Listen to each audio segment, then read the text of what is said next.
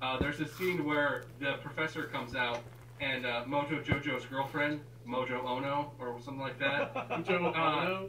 she she she starts dating him, and then he doesn't do like terrorist things anymore. Yeah. And then she's like playing the piano, and the professor just comes out and says, "It's okay, girls. Someday Monkey won't play piano song. Play piano song."